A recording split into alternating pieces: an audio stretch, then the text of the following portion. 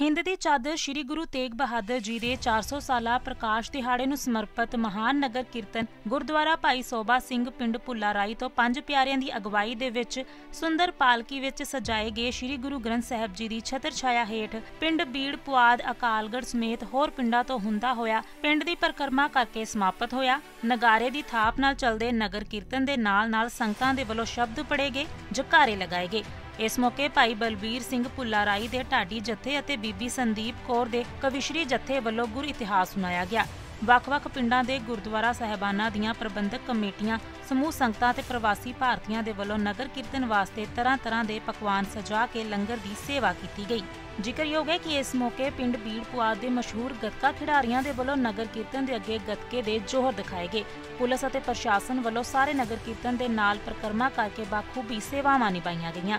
ਦੇਸ਼ ਦੁਨੀਆ ਦੀਆਂ ਤਾਜ਼ਾ ਖਬਰਾਂ ਦੇ ਲਈ ਹੁਣੇ ਪਲੇ ਸਟੋਰ ਤੋਂ ਡਾਊਨਲੋਡ ਕਰੋ ਪੰਜਾਬ ਦੀ ਆਵਾਜ਼, ਅਜੀਤ ਨਿਊਜ਼ ਐਪ। ਹੁਣ ਤੁਹਾਡਾ ਆਪਣਾ ਅਜੀਤ ਹਰ ਸੋਸ਼ਲ ਮੀਡੀਆ ਪਲੇਟਫਾਰਮ ਦੇ ਉੱਤੇ ਉਪਲਬਧ ਹੈ। ਫੇਸਬੁੱਕ ਦੇ ਉੱਤੇ ਹੁਣੇ ਲਾਈਕ ਤੇ ਫੋਲੋ ਕਰੋ ਅਜੀਤ ਦਾ ਅਫੀਸ਼ੀਅਲ ਪੇਜ ਡੇਲੀ ਅਜੀਤ ਤੇ ਹਾਂ, ਨਾਲ ਹੀ ਦੋਸਤਾਂ ਨੂੰ ਪੇਜ ਲਾਈਕ ਕਰਨ ਦੇ ਲਈ ਇਨਵਾਈਟ ਕਰਨਾ ਨਾ ਭੁੱਲਣਾ। ਇੰਨਾ ਹੀ ਨਹੀਂ, ਹਿੰਦੀ ਦੇ ਵਿੱਚ ਖਬਰਾਂ ਵਾਸਤੇ ਲਾਈਕ ਤੇ ਫੋਲੋ ਕਰੋ ਸਾਡਾ ਫੇਸਬੁੱਕ ਪੇਜ ਅਜੀਤ ਸਮਾਚਾਰ ਹਿੰਦੀ।